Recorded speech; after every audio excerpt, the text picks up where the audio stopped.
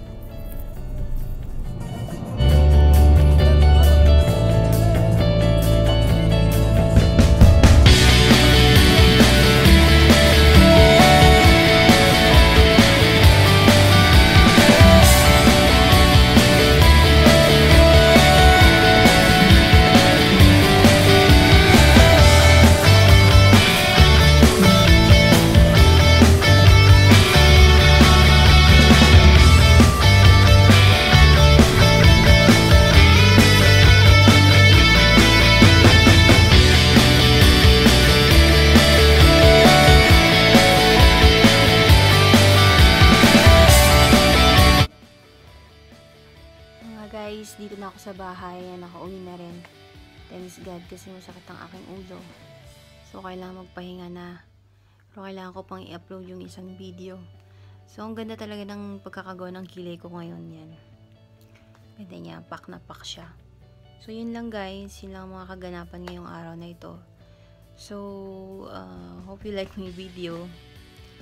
And, see you on my next vlog. Bye! So, yan guys. Nakauwi na ako ng bahay. Siguro pahinga na lang ako kasi sumasakit ang ulo ko siguro dahil sa lamig. Pahinga muna ako. Tutulog ako kasi isang kahapon. Ang sakit ng ulo ko.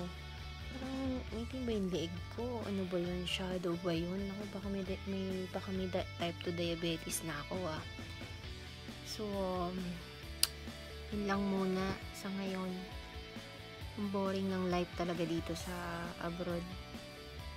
So, yun lang guys. See you in my next vlog and thanks for watching.